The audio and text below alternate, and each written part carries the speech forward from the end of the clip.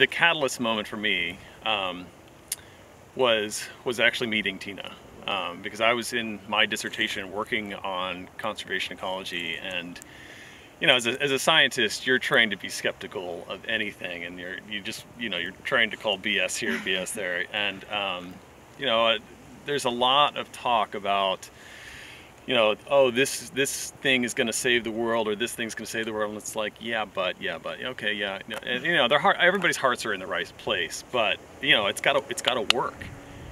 It can't be another flash in the pan. And so I had discovered regenerative agriculture and thought, well, I'm, I'm pretty skeptical, but had convinced myself that it, it was an amazing thing. But I was on a completely different track in my life. Like it was going to be academia, hopefully tenured professorship, all those things. And I'm like, but I was miserable and so mm-hmm. I, I, don't know, I just, I couldn't let it go. And so I just find myself reading articles in the evening and being like, this is awesome.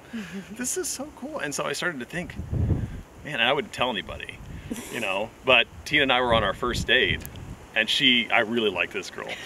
so she asked me, what do you want to do after your dissertation? And instead of some, you know, like puffy chested answer of like, oh, I'm going to, it's like, you know what? I'm going to tell her the truth. I want to start a farm.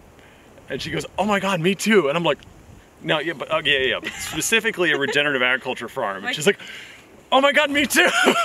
and I was like,